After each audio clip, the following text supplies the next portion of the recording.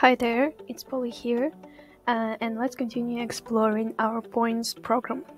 Uh, so you need to go to the rewards section, and then under the spending points option, you will be able to create discount in exchange for points.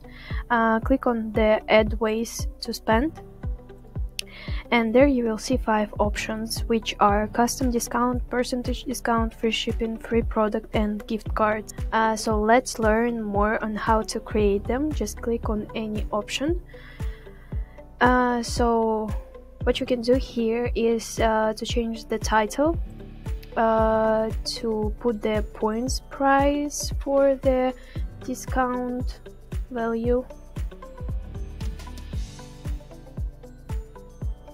Uh, then you can choose whether it applies to the to all the products or just to the specific collections.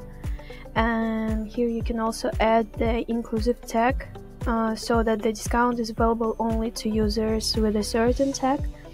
Uh, you can require a minimum purchase amount so only after making an order for this amount they will be able to use the discount.